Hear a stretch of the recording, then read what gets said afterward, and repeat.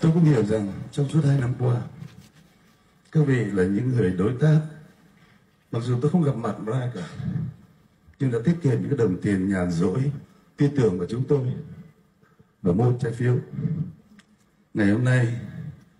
đứng trước phiên tòa này, một lần nữa,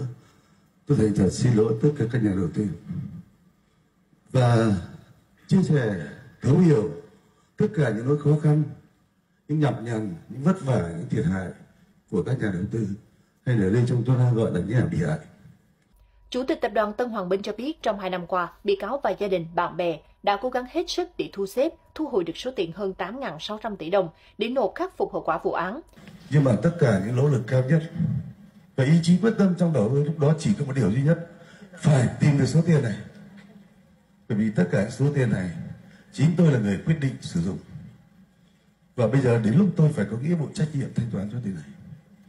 Tiếp tục trình bày, ông Đỗ Anh Dũng nêu với cương vị của một doanh nhân, bị cáo đã đạt được nhiều thành tựu, nhận nhiều bằng khen, giấy khen. Tập đoàn Tân Hoàng Minh cũng có nhiều đóng góp cho xã hội, nhất là thời điểm xảy ra đại dịch Covid-19 đã đóng góp hàng trăm tỷ đồng cho thành phố Hồ Chí Minh và Hà Nội. Song ngày hôm nay phải đứng trước tòa, đối diện bản án, bị cáo thấy đây là sự khắc nghiệt nhất trong cuộc đời. Và ngày hôm nay tôi phải đối diện với cái sự khắc nghiệt nhất trong cuộc đời, đó là đối diện với bản án. Đằng sau tôi có 14 bị cáo. Trong đó có 10 bị cáo là thuộc cấp là đồng sự và thậm chí là có con trai tôi tôi ký chi quý tờ. Tha thứ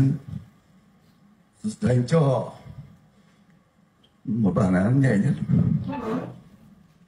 theo cáo buộc, để giải quyết khó khăn về tài chính, Chủ tịch Tập đoàn Tân Hoàng Minh Đỗ Anh Dũng ra chủ trương phát hành 9 lô trái phiếu của nhóm công ty ngôi sao Việt, Soleil và Cung điện mùa đông, thông qua chuỗi hành vi chỉnh sửa báo cáo tài chính, lập hợp đồng giả cách, chạy dòng tiền khống, các lô trái phiếu được chuyển từ ba công ty phát hành sang Tập đoàn Tân Hoàng Minh. Tiếp đó, bị cáo Đỗ Anh Dũng ủy quyền cho 22 cá nhân ký hợp đồng hợp tác, thực chất là mua bán, trái phiếu cho nhà đầu tư, sử dụng tiền không đúng mục đích và phương án phát hành, chiếm đoạt hơn 8.600 tỷ đồng của 6.630 bị hại. Đến nay, cơ quan tố tụng đang tạm giữ hơn 8.600 tỷ đồng, gồm gần 3.000 tỷ đồng do thu hồi trong quá trình điều tra vụ án, hơn 5.600 tỷ đồng do Chủ tịch Tập đoàn Tân Hoàng Minh Đỗ Anh Dũng, gia đình và người liên quan tự nguyện đột. Số tiền này đủ để khắc phục toàn bộ hậu quả vụ án. Trong số 6.630 bị hại, hơn 1.400 người có đề nghị giảm nhẹ hình phạt cho các bị cáo vì cho rằng các bị cáo đã tích cực khắc phục hậu quả, ăn năn hối lỗi. Một số bị hại kiến nghị cơ quan quản lý rút ra bài học cho câu chuyện về trái phiếu